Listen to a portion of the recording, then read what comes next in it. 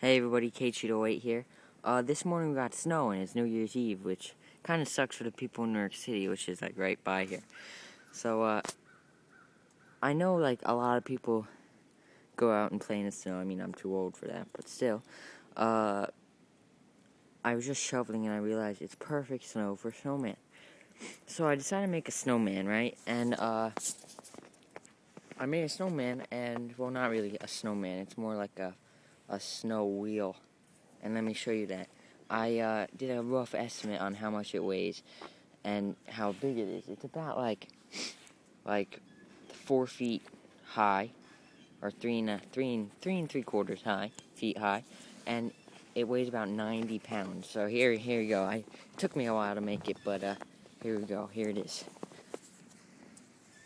It is the snow wheel the snow wheel. I picked up a lot of dirt on the way around. But the snow wheel.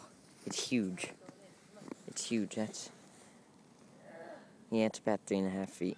That's my upper part of my waist. It's abs.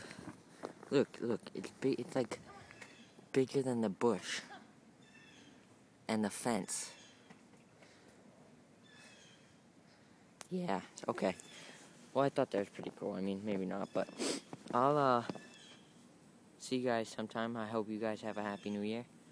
And yeah, bye.